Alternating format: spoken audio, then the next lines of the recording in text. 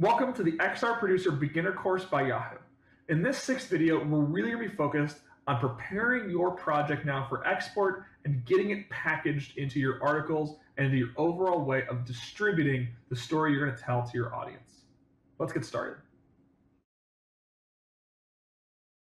So up until this point, we've really been focused on creating the content, uh, getting the pieces that you've, you know, you've thought of that you need downloaded, placed into a project, and making that composition within your 3D editing software. Now it's time to get it out of that software, get it hosted, and get it shared and distributed to all the people who you intend to actually see it and consume the story that you created. But before we get into that, let's talk again about your homework from episode five, where you added more context to your scene. After you did that, well, you should have been showing it to more people. And did you find that those people were more able to guess what your story was about because you've added more context and they were able to connect the dots between what you were hoping that they'd take away from it and the composition you'd actually put in front of them?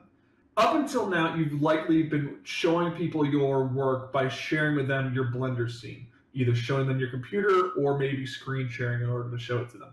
However, there's a big difference between the experience someone has looking at a scene when it's running flat on a monitor or in someone else's software compared to the experience they're going to have clicking on it in the actual platform you're hosting it on, and especially the difference between the flat 2D and the 3D XR that someone's going to be able to walk through in their smartphone.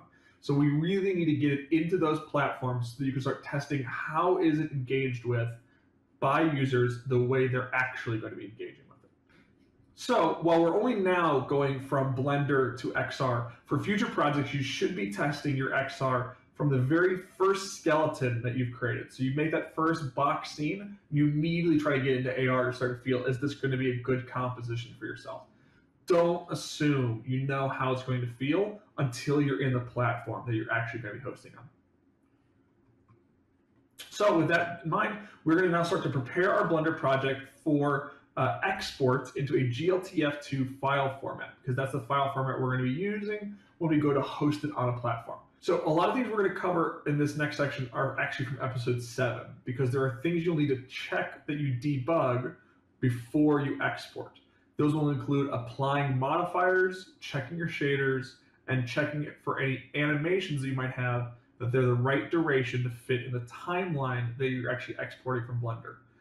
We'll go over modifiers and shaders in the next video.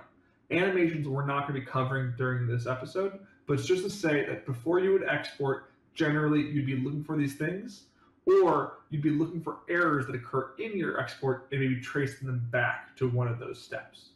But if you have any more questions about how to work with GLTF exports from Blender, check out the guide that Blender has on the constraints of a GLTF export. With that said, though, let's go ahead and put our Mars rover exported out so that we can test it and see how it looks when it's outside of the Blender environment. So here we are back in our Mars rover project, focusing on our story about where it landed because that's the first one we're trying to get published. And here we can see our scene is just as we left it from episode six. Some of the first things I'm looking for again, do we have any modifiers? You'll learn to identify that in the next video by identifying this blue wrench icon being placed next to the objects. I don't see any issues there. And because we haven't gone over shaders yet, we're not going to show you where to look for that until the next video. But it's just to say that when we export this in a moment, if we're finding any colors seem broken, something we expected to be colored is now just white or has some other issue visualizing it, then we may need to trace that back to the shaders in the Blender project. Without seeing anything like any issues right off the bat, let's just go ahead and do our export. So we're going to navigate to File, Export, GLTF2, which includes the GLB format. Here in Blender, we will find the GLB format is the one that's pre-selected, and that will just mean that unlike when you downloaded from Sketchfab and you had a scene.gltf folder or file and you had a lot of other files that were downloaded and zipped together, this will place your entire export into a single file that you can move around and it contains everything needed to load your 3D scene. So we'll be using this GLB format then, and we're going to just navigate our way to a folder designated for exports, just to make your life easier to know what was my working files, what was my Blender files, what were my exported files. So here, my exports folder, we can call this our episode 5 uh, where it landed. And actually, sorry, we'll call this our episode 6, where it landed, and this will become a .glb. We'll go ahead and hit export. And now we'll navigate our way over to this folder where we can find our GLB has appeared with a size of 25 megabytes. Is that big? Is that small? We'll talk more about that in the next episode. But if you're working with a Windows computer, you may be able to open this file off the bat. If you're not working with a Windows computer, you probably don't have a default uh, opening software for this file format just by like double clicking on it, seeing what it looks like. So for everyone, we actually recommend that they go to this website, gltfviewer.donmccurdy.com. And this website will be a place where you can just drag and drop the file that you've exported and see if it's working. So let's go ahead and do that now.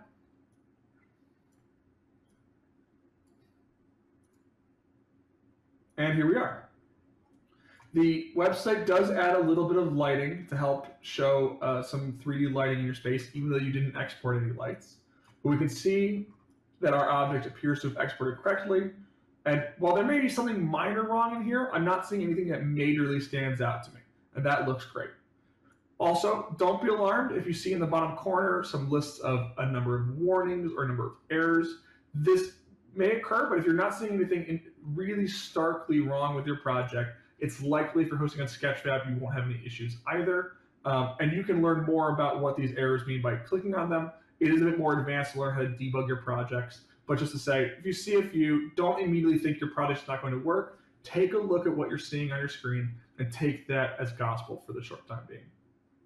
So with our 3D object looking good to us, then we're ready to start thinking about hosting it on Sketchfab. Now, Sketchfab, as we already talked about, does include a large store and an asset library that we can be using to download files, but also the place where lots of people upload their files. So this is really useful because you can upload your stuff there, and it does have an embeddable player that you can then use on your own website or on your articles so that you can create it, host it on Sketchfab, take that player and put it right into a module or into an article and let people click with it in 3D or click into AR mode if they're uh, visiting that module from a mobile device. The other some other advantage of Sketchfab, it will support most animations that you put into it. It allows you to upload an audio track in there as well. And it supports what are called annotations, where you can designate certain points around the 3D model and type out some additional text specific to that particular location on the model. It supports fairly large file sizes for most uh, websites or for most 3D platforms. Um, a free user, which I suggest that you become now because uh, you're using this as your educational period, um, will support an upload of up to 100 megabytes. Uh, but if you are a company, you'll be looking to use a, a, premium or enterprise plan, which will support a larger file size and it'll allow a lot more people to be opening and engaging with the traffic that you're generating, getting more data from that information, as well as potentially white labeling it if you really want to brand it with your company brand um, or your newsroom or media company, so forth. So let's go over to Sketchfab now. We can kind of see that here are the various plans you can pick from. Uh, for the purposes of this video, I'm just going to be working with a basic free plan, just, just like you might. Um, and let's go through the process of uploading our object to Sketchfab. So on my with, with my uh, account logged in, I just come to the upload button.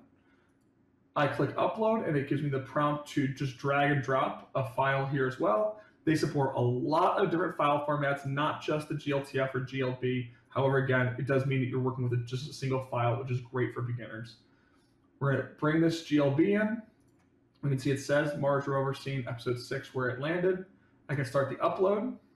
While that's uploading, this is where you need to remember to give credit to the people who you took your assets from.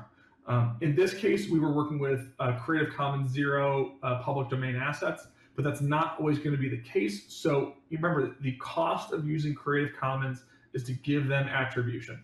For myself right now, we're just going to say this was produced by Henry Kaiser. Uh, we have models by NASA JPL uh, via Thomas Flynn at Sketchfab. And we have photos by NASA JPL. If we were giving, again, Creative Commons attribution, because we were not working with CC zeros, we would be saying specifically this work includes assets by that person and you know their username or their actual name and a link ideally to their page by Sketchfab licensed under CC by 4.0. If you're working with royalty-free assets from the Sketchfab store, the TurboSquid store, the CG Trader store, or any of the other ones out there, in those cases, you may or may not be required to uh, cite them. You should read the terms of the license based on what you purchased. Also, if you buy royalty-free, give people credit. There's no bad karma that can come your way because you shared where you got your your various pieces from. So now we just need to wait for an extra minute or two while this object finishes processing. And once that's finished processing, we'll show you how to edit the 3D layout of what you've uploaded inside Sketchfab's engine before you go ahead and hit publish. So now that it's finished processing, we're gonna go ahead and press this edit button. It only took about 30 seconds to process, which was really great. Um, by clicking the edit 3D settings, I can go ahead and say, you know, confirm you wanna leave. Before I confirm I wanna leave, maybe I can always hit save so it saves the changes I've already typed in. Now we can edit 3D settings. So here we are in uh, Sketchfab's editor. Um, here in the editor, we can see just again a view of the 3D model. We can rotate the model if we need to. We can change how the lighting on the model is calculated. We can change any background images, either a color that we want to put behind the model, an image that we want to put behind the model as a Sketchfab default, uh, a environment that we may want to put behind the model. And if you have, so here we can see some default environments that you can work with from Sketchfab uh, that you can either blur or you can uh, leave as they are. But also, if you're using then one of the upgraded plans, you can uh, upload custom uh, 360 images slash HDR images into Sketchfab to give a custom background environment to your scene. I, I think this one looks really good for our Mars scene. Beyond this, we can also then just check on um, the various materials that we're running to make sure everything's running correctly. We can add post-processing, as we talked about when you're hosting, you can add a bit more depth of field or some added sharpness, various special effects that you can add to your upload. If you want to add annotations for something specific happening in the scene, you can now click on a certain area and type something specific about what's happening in that area of the project. Um, we're not going to be using annotations for this particular project, so we'll just delete this one back out that we just created to show you. If you have any animations, you can check on the animations and how they're working. When working with AR and VR, this is an important moment to set the scale and the position of the person that you're going to be uh, expecting, like how you expect them to engage with your scene. So, for example, right now, my person is a lot larger than the rover actually is in real life. So instead of having the person be larger, I want them to be roughly the real scale of the object. So we're going to make them a little bit smaller to about, let's say, there. Um, in reality, these tires come up to someone's knee about, and so this looks fairly close. If I want them to be right in front of the rover, I could do that, or I could also move them to the side and rotate them to look at the rover from a different starting perspective. I think that's going to look pretty good because then they'll be able to read the title as well, and they'll still be standing fairly close to the model, uh, so they only have to take a step or two to start exploring the scene. After we've got all that set up, if you have any sound files that you're uploading, this is where you'll click and add your sound files, and then those sound files will be uh, playing when you, someone's looking at your 3D scene as it loads. One of the last things you're definitely going to want to do before you uh, publish your piece and save your settings is think about what is the starting perspective you want someone to have when they're not just looking at it in XR, but they're looking at it in the 3D embed that you're going to place into a web page. In order to set that perspective, here in the Sketchfab viewport, you're going to go ahead and kind of zoom. You might use your uh, middle mouse button to strafe left and right, or you can use your left click to go ahead and rotate your perspective.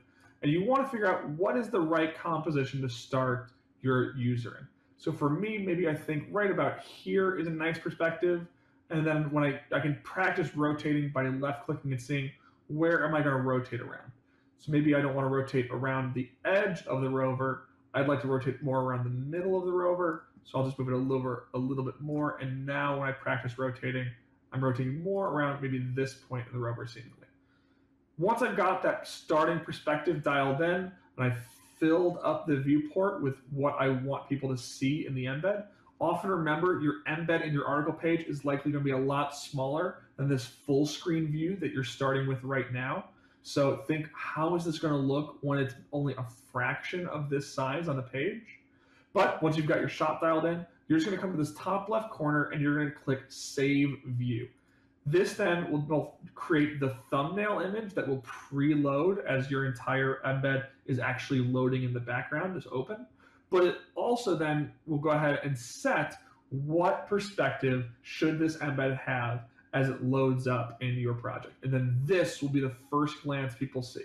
So remember, it's not just about filling all of their needs in this first glance, but hopefully once they've seen this perspective, they have a better understanding of what they want to go explore from there. And so you've not hidden necessarily things that they need to see on first glance, but you don't necessarily have to show them everything they might want to look at in the first glance. With all that done, I can save my settings again, and then before we hit publish, let's go check one last time and say, oh, this title, while it was what we called as a working file, Mars Rover Scene Episode 6, where it landed, this is unlikely maybe what you want to title it uh, when you're preparing to publish it. So let's call this our Perseverance Rover where it where it landed so that we're really clearly establishing some of the nudge of what is this composition about. Um, if you have more categories, because you want to make sure that this is searchable on Sketchfab, you can add your categories. Um, also, you can add some tags as well to try to go ahead and improve the SEO around this if Sketchfab is somewhere that you really want to attract an audience. But if you're intending to just embed this into an article page, may, this may be a bit unnecessary for you if you're really trying to make sure that the attention of this piece is focused to your own website. With that all done, I can go ahead and hit save and publish. As you can see, it's already finished. When you are working with a free account, you get 10 publishes per month that do not need to be store uploads or Creative Commons. Or if you're intending to upload your work as Creative Commons or sell it in the store, you can upload more assets than that per month. With that done, I have, of course, my link to copy and share on social or in other places just as a dedicated destination. Or I can go to my model page, and once I'm on my model page, here I can also find my embed code. This code is what we'll be using to copy and paste into the various websites that we're going to be publishing our piece on. This may be a WordPress or your own company's CRM. Um, but from here, you can see this is what we'll be copying, and there are some variables we can change still. What is the size of your embed that you want to be on the page as it loads? Do you want to show captions in the embed? Um, do you want to use a light or dark theme? Most commonly, people use light themes on their websites, but this depends on the design potentially of your website. Uh, if you're working with an upgraded account, do you want to show, uh, remove the various Sketchfab branding that's on the embed, um, or display the model inspector or hide the model inspector on that embed? Also, do you want to, uh, you know, auto start so that as soon as your page loads, it also loads this embed. There's no play button. People are already able to interact with it in 3D right off the bat. I highly encourage people to use the auto start. Um, animated entrance means when it loads, it kind of zooms in the model, as opposed to turning that off where it just kind of loads and the model is right there ready to go without any animated entry. Turntable just means that your object will start will load rotating and will start rotating if it hasn't been interacted with in a few seconds. Uh, and preloading textures is something that uh, if you have lots and lots of textures in your piece, it will make sure that they're all loaded before the 3D model loads. Otherwise, if you know that there may be various textures that are out of sight from your first perspective, you can load the 3D scene and then it'll start loading in textures as they enter the user's line of sight as they navigate the space. Other control options are really unlocked as you start to uh, upgrade your account um, as well as your annotations are things that, you know, do you want to show them on your embed or do you only want to show your annotations when you're on the Sketchfab page? Entirely up to you. Once that's all done, you're going to copy to clipboard, bring this over to the hosting site of your choosing, and you'll be able to run it from there. Now, Yahoo doesn't actually use Sketchfab as a publishing platform. We have our own that we've built in, internally um, called Yahoo Immersive. But uh, so, so in, in, that case, we're not going to be showing you the steps of copying and pasting it into an embed code on your site. That is something that's fairly quick for you to set up. It will be completely unique to each of your various websites. But let's go ahead and assume that we have that now on our page. It's ready to publish. Uh, and let's check back in with Laura to find out her feedback about how we package this going forward. All right, Laura. So here is the versions we're looking at putting out tomorrow. Um, we got the one which has got the your billboard text card to talk about the the creator position, um, and then we got the one that'll probably go to the day after, which has um, our cutout and our audio. Um, so what, what do we do from here? How do we get this out the door? I mean, the most important thing is like you can build the most beautiful immersive project. People got to find it and look at it, right? So, really, it's how do we package this up, make sure it gets the love that it deserves across our network and anywhere else on social, all these other places, make sure it has a great headline. So, let's let's talk through like what are we going to do? What are we going to do first?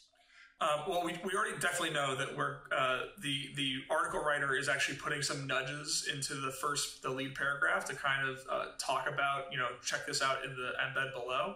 Um, so that should really hopefully if, if someone landed on the article not knowing that there was an XR there or somehow they didn't really figure that out, um, they're maybe reading in and being primed to do some of that activity in a second.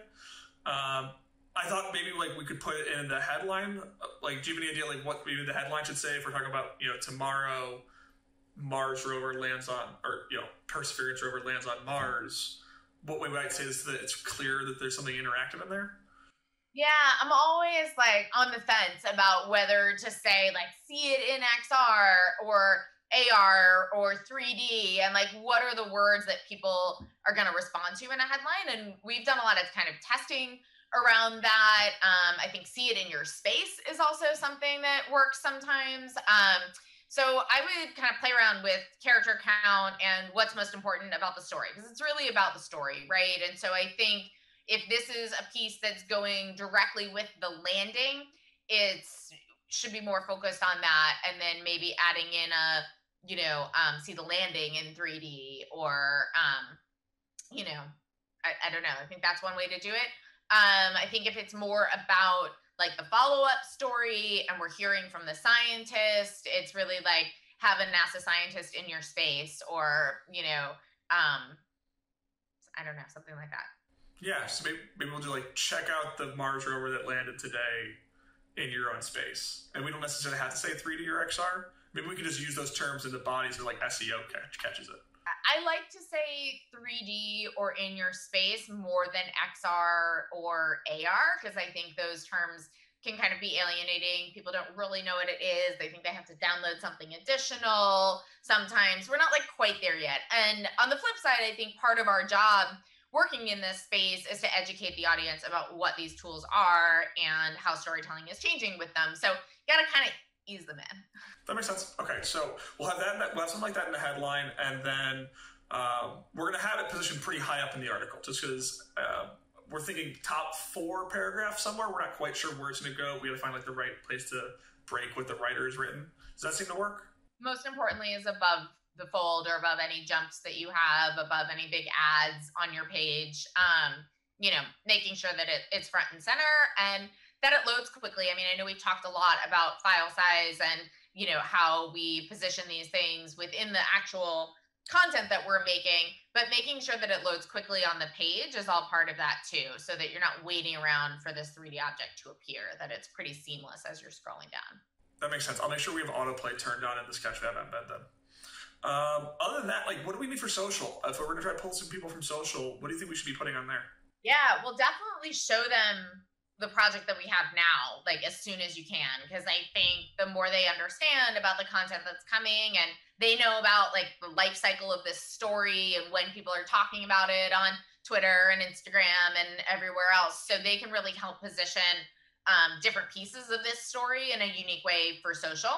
So definitely get them involved in the conversation. Um, i think one of the really cool things about uh, web ar is building in this kind of I call it like 3D to 2D, but all that means is making a video out of your 3D project. That makes sense. Um, do you think we should like screen record or should we like actually render something out? I think screen record is usually all that you need. Um, I think talking to the social team would be really helpful because if there's a piece that's really unique and exciting and you want to build a separate Spark AR piece for Instagram, you know, that's something that, you know, you might want to consider doing. Uh, might take a little more time. So it might be like a day two uh, piece of the project, but, you know, certainly could be worth it if you have the resources. That makes sense. Yeah, we'll get a screen recording done in the next like 20 minutes and just send it over to them. And then, um, yeah, because I think a, a, render would take us a lot longer. So maybe we'll render something for one later this week. Um, and we haven't done anything with Spark yet, so maybe we'll we'll learn more about that, um, and then we'll we'll make a 3D model that we can actually have like live in our social account. Yeah, and I think you don't need to overthink it too much. Sometimes we just use a GIF, and you know that's sufficient to link off to sometimes you're putting, you know, I think for something like this story, you want to see that rover crawling around your space, like, you know, you want to be able to see how it looks on your desk or or maybe you're outside somewhere cool and you can put that 3D rover um, you know on on the ground and and see what it really looks like. So I think taking a screen recording of the actual AR as opposed to just the desktop version for this story might be great. Some stories don't need that though. So, you know, kind of depends what you're working on. Cool. We'll get that done, and then we'll, we'll go uh, let you know when it's, when it's published. Awesome. Can't wait to see it. So from that meeting, we've got a couple things we can take away. First, we really want to prime our users to be prepared to interact with, a, with an XR embed in this article. Uh, we want to prime them both in the headline using verbs and nudges, and also then, of course, in the early paragraphs of the piece. Not necessarily in the lead, but quickly on so that they know there's something interactive coming and that it's kind of critical to their consumption of the entire holistic coverage.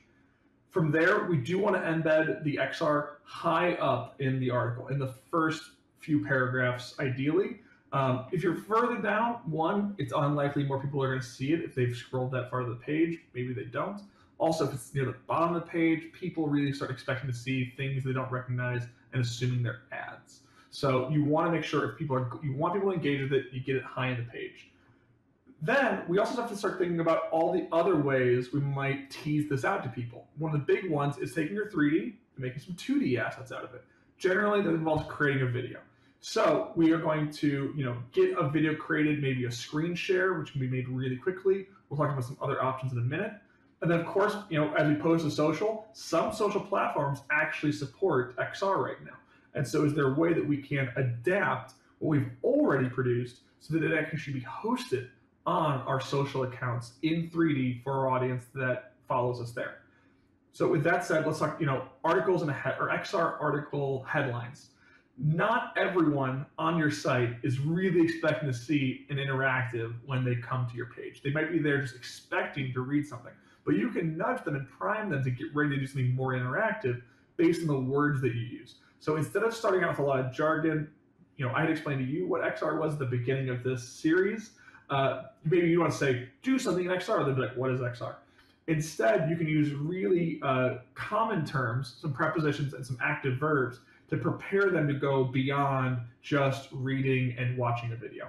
You could say, you know, words like explore, check out, uh, place, uh, rotate, go inside. You can see more of them on the screen here, but there's a lot of options out there to kind of get them thinking about what I'm about to do actually involves me doing something with the story. And that can attract people and also helps uh, avoid uh, them being turned away by jargon they don't recognize. That said, you probably want to use some of those key terms VR, AR, XR, 360, immersive in some sort of copy to help improve your SEO. So with that done, you know, we can talk about for this piece, maybe we would say explore Perseverance rover in your living room and see where it landed. That is a headline that sets up the story, it sets up some interactive elements, um, and it doesn't have anything in there that's too jargony that it should be turning someone away. You'll have to, of course, you know, mix and match what terms you use in your own pieces going forward, but this is just an example headline we might use for this particular story. From there, again, we need to start thinking about what else we're going to use to show off this piece we produced. And that can involve going from 3D to 2D. So One of the easy ways we can do this is screen recording the upload. We've already made a Sketchfab while the Sketchfab piece is running in augmented reality on the Sketchfab mobile app. So that requires having that app downloaded. It also requires you kind of having some familiarity of using the screen recording features on either your iPhone or on your Android device.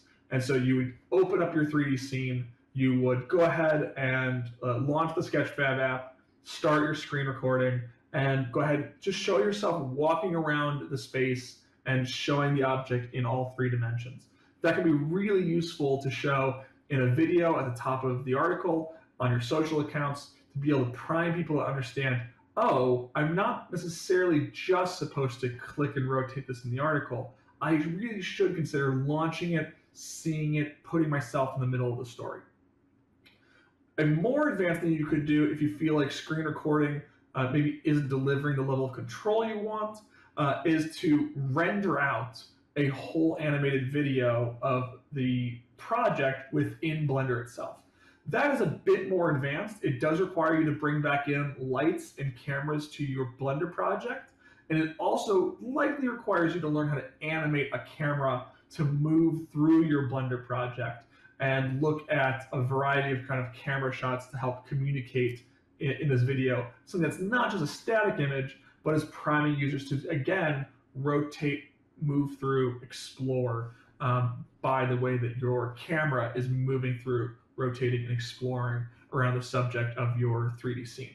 That's more advanced than we're going to be covering during this particular training program, but you can find some tutorials to how to render videos from Blender are linked below.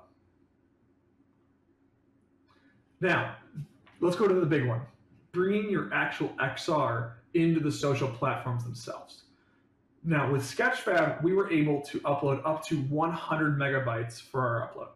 However, each platform has different constraints. So Spark AR, which is the platform for Facebook and Instagram, support up to 40 megabytes. In some cases, a lot smaller. So already we're recognizing that the level of file size and the level of optimization we need in order to go from a Sketchfab maximum project to a Spark maximum project requires some finagling. Then, if you're looking at Snapchat, Snapchat supports up to a maximum of four megabytes. And TikTok, while they have some AR right now, hasn't released a self-service platform yet. But we shouldn't necessarily expect it's going to be as large as Sketchfab. It will probably be somewhere between the file sizes of Snap and Spark. So with these much smaller file size requirements, we need to start thinking more about how do we reduce the file size of our project so that we can go ahead and put these 3D elements everywhere that our audience may want to explore with it. And we're going to cover optimization, optimization more in the next video. With that all said, your homework for this week is to really focus on uploading your 3D scene to Sketchfab. That means exporting that GLTF out of Blender, creating your Sketchfab account, uploading it on there, and then screen recording a video of your scene running in AR. Once you've done that, try to really put yourself in the AR and start to feel what is really just feeling different uh, compared to when you are working with it flat in your Blender scene. It is really common, as we mentioned at the start of this video, that the XR will feel very different than how you assumed it would feel when you were working with Blender. So now is the time that you need to start making tweaks again to go ahead and recompose your scene, moving the elements around so that they feel in XR the way that you want it to feel when it's just running in your three uh, your 3D players, um, be that the embed page or the uh, Blender screen. Once you got it done, you know we would love to see what you've created. Go ahead and share some of your videos on social. Uh, if you hashtag Yahoo XR course, uh, we'll go ahead and we'll share some of our favorite stories that you guys are creating. Um, hey, this has been great. We'll see you in the very next video to talk about optimization, and I'll see you then.